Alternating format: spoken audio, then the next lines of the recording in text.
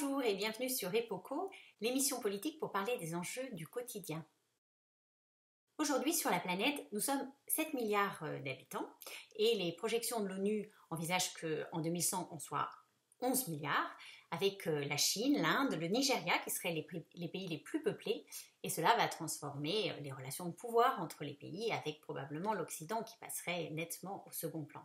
Mais ça pose aussi des questions de mode de développement pour l'ensemble de ses habitants. Alors interrogé sur France Inter, l'ancien président Nicolas Sarkozy a dit que la planète avait connu de nombreux changements climatiques, mais que l'humanité n'avait jamais connu un tel bouleversement démographique. Cette phrase, elle est un peu problématique parce que faire le parallèle entre d'un côté l'histoire de la planète et de l'autre côté l'histoire de l'humanité, ça n'a pas beaucoup de sens.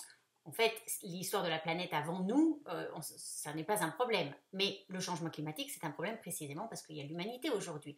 Et depuis que l'humanité existe, on n'a pas connu de changement climatique aussi grave que celui qu'on connaît actuellement, et ça impacte l'humanité, c'est-à-dire les zones habitées qui risquent d'être submergées, les cycles biologiques dont dépendent nos ressources. Rapprocher dans la même phrase l'augmentation de la population et le changement climatique, c'est aussi un peu gênant parce que ça laisse entendre que la première serait la cause du second. Or, le changement climatique, il n'est pas lié à l'augmentation du nombre de personnes, il est lié à certains modes d'alimentation, de consommation, qui sont particulièrement euh, producteurs euh, de CO2 parce que liés à la combustion d'énergie fossile, et puis à des modes d'alimentation qui consomment beaucoup d'espace et entraînent des changements dans la pratique des sols. Mais l'humanité en général n'est pas obligée d'adopter ces modes de consommation.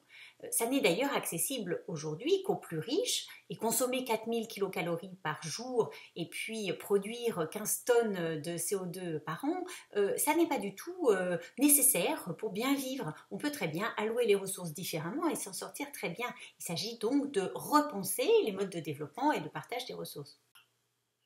En 1803, Thomas Malthus écrivait qu'un homme qui est né dans un monde déjà occupé n'a aucun droit de réclamer la moindre nourriture et en réalité il est de trop. Au grand banquet de la nature, il n'y a point de couvert disponible pour lui, elle lui ordonne de s'en aller et elle ne tardera pas elle-même à mettre son ordre à l'exécution. Alors je crois qu'aujourd'hui on ne peut plus avoir de tels propos.